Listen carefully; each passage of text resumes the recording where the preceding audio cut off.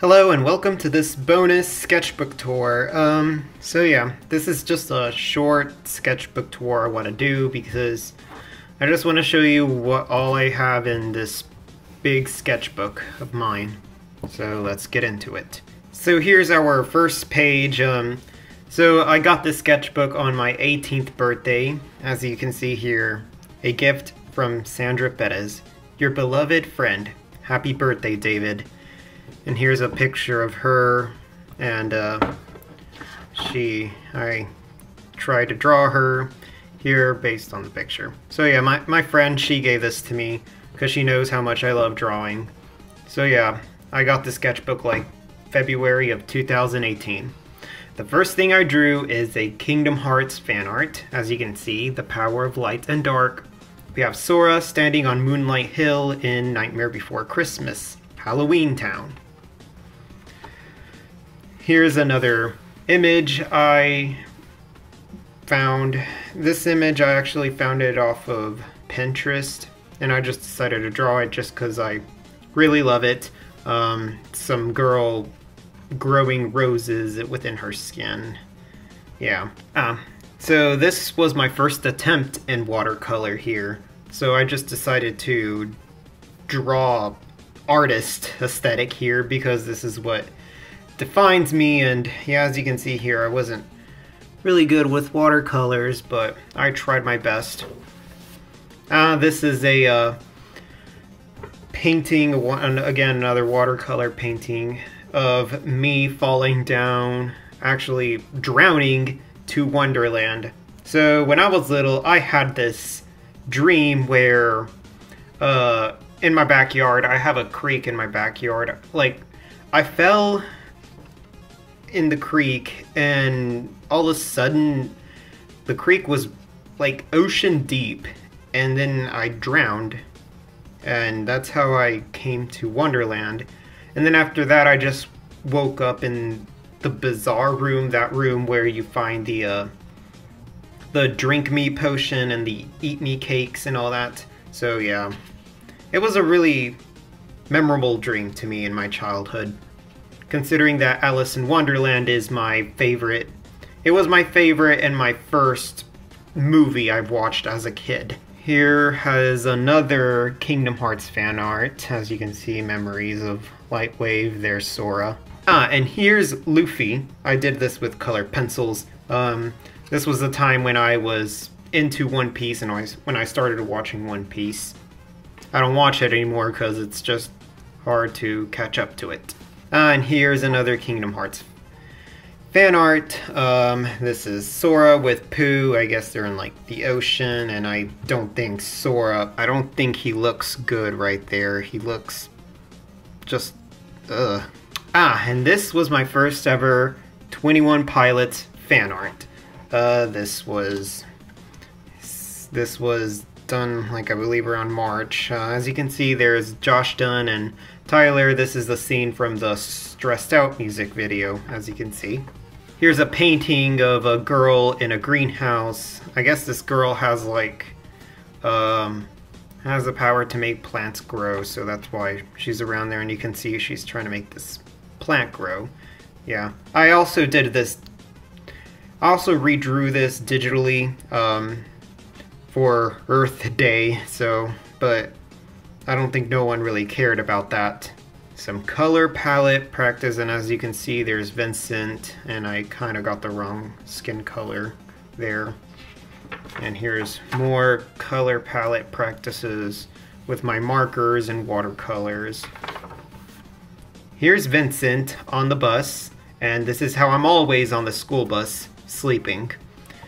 It's, it's a common type of people you see in the bus. Oh, so this is a painting of my first ever sleep paralysis um, experience. Long ago I had sleep paralysis and it, I, I believe it's because I sleep on my back too much and yeah, I could not move at all and then I swear I saw some sort of shadow demon because I've heard that people see shadow demons in their paralysis sleep. My cousin said that he saw his lamp turn into some witch shadow figured, and it was a scary experience to me. And so I decided to do this like dreamy aesthetic, but yet creepy.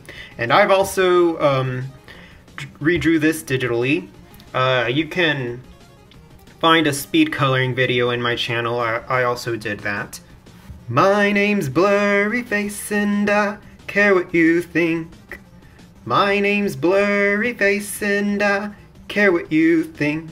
Here's another Kingdom Hearts fan art. This is Vanitas, and this is the part where uh, Vanitas is in Monstropolis using the Unversed to uh, collect the negative emotions out of the children. As you can see, he's standing like right in front of Boo's door and I guess just waiting for Sora. Uh, this I actually got it off an image off of Pinterest, but I decided to add a background because the original image only had Vanitas and these two props. Can you save? Can you save my heavy dirty soul? Can you save? Can you save my can you save my heavy, dirty soul?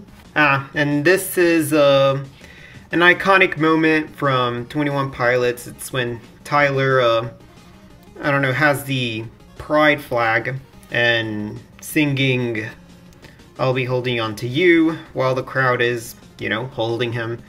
I, I really love, I, I just think it's a really iconic moment for Tyler and 21 Pilots as a whole. So and I actually did this for Pride Month, so so yeah. This is another image I got off of Pinterest. I this is all done with watercolors. Again, I tried my best. This was during my early stages of learning to use watercolors. This bead is a chemical. Bead is a chemical. Sipping on straight chlorine. Some Silent Hill fan art. As you can see, we got the we got the iconic pyramid head here, and that's uh, Alessa. Oh, and uh, spoilers, spoiler alert for those who haven't seen Stranger Things Season 3. Um, I, so yeah, uh, you've been warned. So yeah, this is uh, Stranger Things Season 3 fan art. Justice for Alexei. he was I don't know why this is something I don't like about Stranger Things is that most of the characters that I bonded with like I don't know like Bob and Alexei, like all the characters that I you know that I really love and bonded with just die and that's one thing I really hate about and Alexei he didn't deserve to die Here's a Poison Ivy drawing. Yeah. Here's another 21 Pilots fan art. This is from the music video Fairly Local. Again, done in watercolors. Still learning. And here is my one of my best Scarecrow fan art from DC. You know, as you know, Scarecrow is my favorite DC villain, Batman villain. You have him and his like him as Dr. Crane, and as he's like spreading the fear gas, you see the scarecrow right behind him. Yeah. Um, and here's this little, sort of little artwork I did with watercolors. So I decided to choose like a Disney princess and draw a flower that kind of represents them. We have Belle. I drew the rose because of an of the enchanted rose. Tiana, I drew a lily pad flower because, you know, she's a frog and it takes place in a swamp. Rapunzel, I drew the golden lily because that's where her powers come from, the golden flower. Snow White, I drew like a dogwood apple tree, you know, because the poison apple that she took a bite from. Some watercolor practice there. Cinderella, because of the pumpkin carriage, and I drew like a pumpkin and a pumpkin flower. Aurora, I just drew like a pink rose because of the forest of thorns that Maleficent covers the whole castle with thorns, and I guess I should have made the thorns more noticeable. Um, then we have Ariel because I think in the movie she kind of wears this pink tropical flower. As for Jasmine, I just drew like an Arabic flower of some sort. And then Mulan, I drew cherry blossoms because I think those are common in Asia. As for Alice, I drew a rose, but a white rose, but instead it has like red paint on it because, you know, painting the roses red. And as for Anna and Elsa, I didn't, I don't know what kind of flower would represent them, so I just drew what I see in their designs, like the snowflake and some sort of flower pattern design Anna has in her clothes, I guess. And then as for Moana, I just drew like a your typical tropical flower. Ah, and here's a brand new, the band brand new fan art I did. Um, yeah, I love, I really love this band, and something about their cover, I don't know, just, just, just makes me think about stuff like their album cover. Like I used to find it creepy, but now I don't, and yeah. You can also find a digital speed coloring video in my channel of this, yeah. And I really rec highly recommend you guys listen to this band. I recommend you listen to God and the Devil Are Raging Inside of Me. That, that's a good one for starters.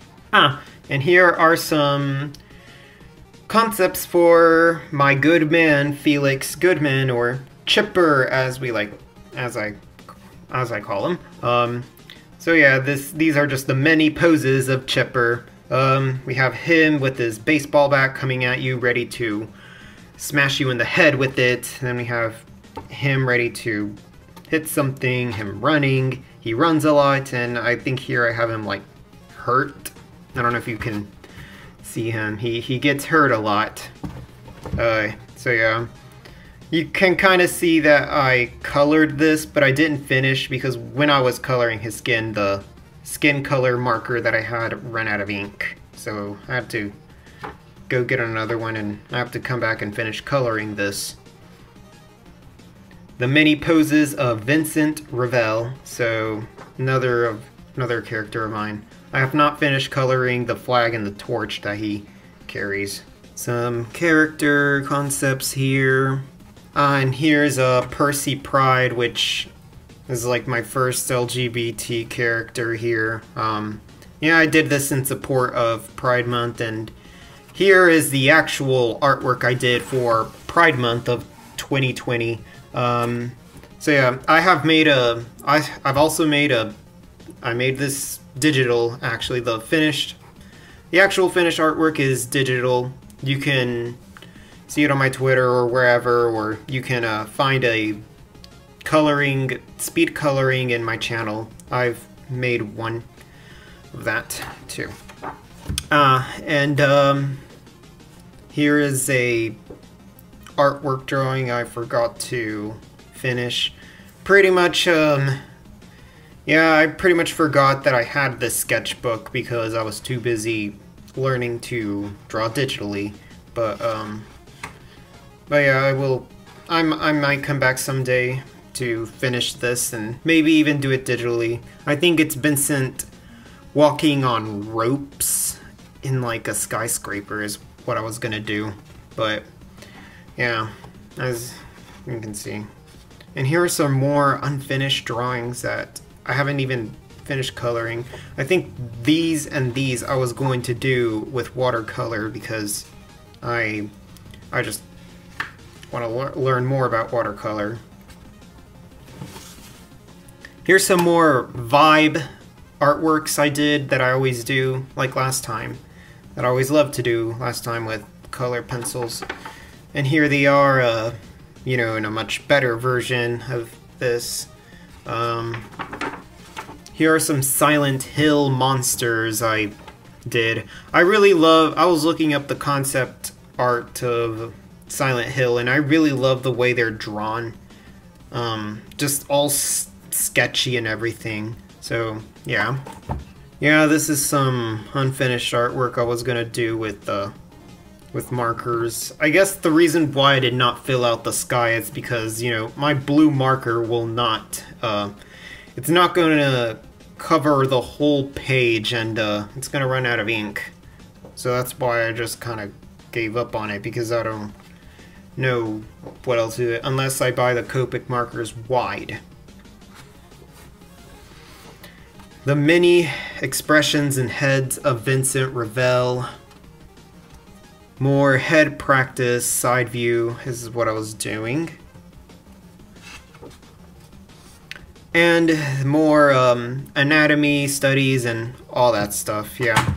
I was using other ways to draw torsos and just these easy ways which I believe this method to me kind of works.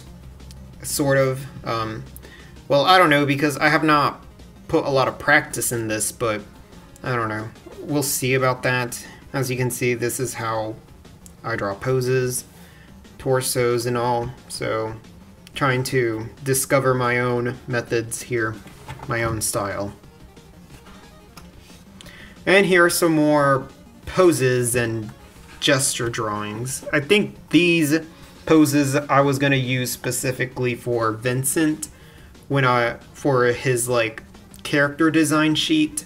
Um, I was just trying to like find a pose that defined him the most. Um, as you can see here, more poses I drew, just trying to find the one that defines him the most. And as you can see, this sketchbook is unfinished. I just wanted to show y'all what I have left in this sketchbook. Um, I don't know when I'm gonna finish this sketchbook. It's probably been like two years now. Uh, I don't know, but I guess maybe when when I take a break from digital drawing and go back to traditional, then I might be able to uh, go back to this. But yeah, so that's it for this bonus sketchbook video. Thanks for watching, and I hope you all like it. See you in the next video.